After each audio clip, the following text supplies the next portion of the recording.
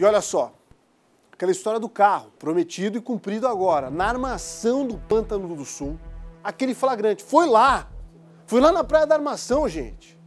O motorista foi preso respondendo a sua pergunta em flagrante, depois que o carro que ele dirigia invadiu um mini mercado.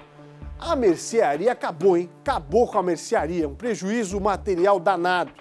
E que bom que foi só isso. Ele se recusou a fazer o teste do bafômetro, mas a polícia constatou no local que havia sinais claros de embriaguez ao volante. Os proprietários registraram então o boletim de ocorrência e estimaram um prejuízo superior a 3 mil reais. É o portão, a parede lateral, a porta destruída. Eu vou te contar que irresponsabilidade. A batida foi tão forte que chegou a derrubar a parede.